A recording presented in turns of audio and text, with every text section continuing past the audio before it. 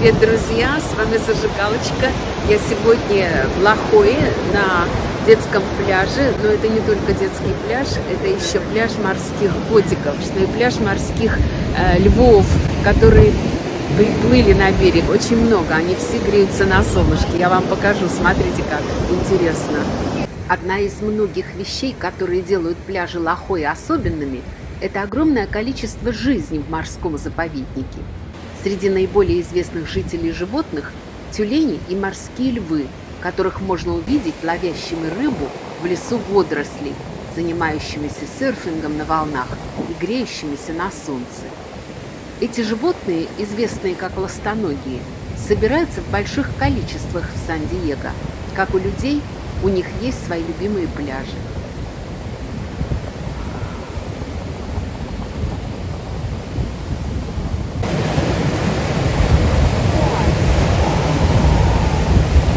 Детский бассейн – одно из лучших мест, где их можно увидеть.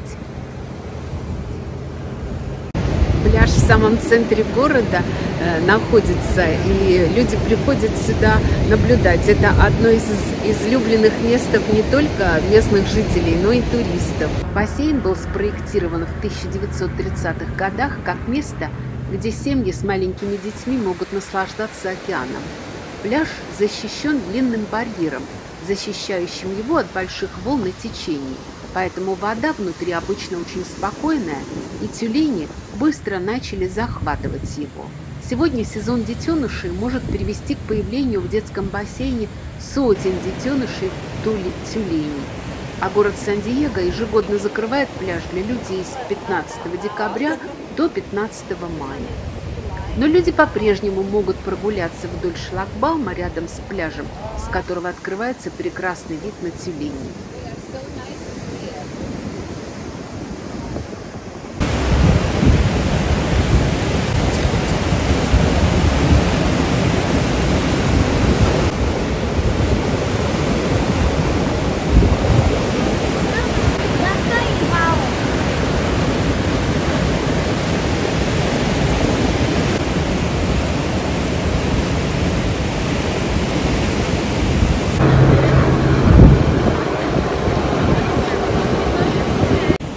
Разница между морскими львами и тюленями?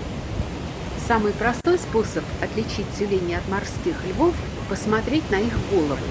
У морских львов есть наружные уши, а у тюленей их нет. Поэтому если вы видите ушную раковину сбоку от их головы, это морской лев. Если все, что вы видите, это дырка на месте уха, это тюлень.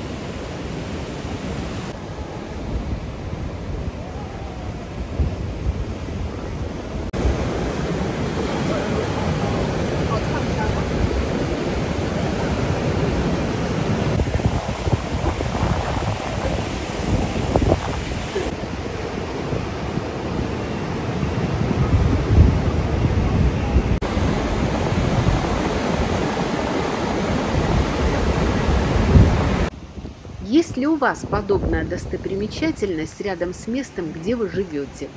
Дайте мне знать в своих комментариях.